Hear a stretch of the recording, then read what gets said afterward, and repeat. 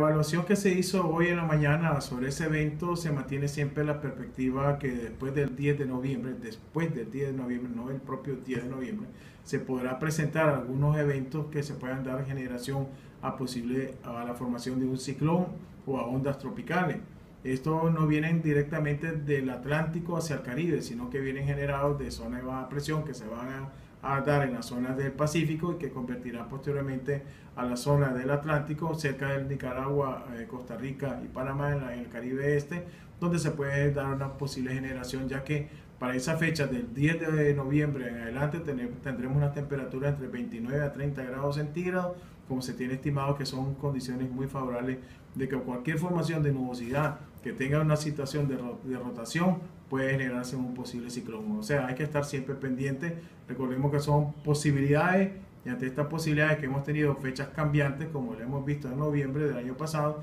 tenemos que tener pues siempre a la, a la expectativa cualquier tipo de formación que se pueda presentar después del 10 de noviembre.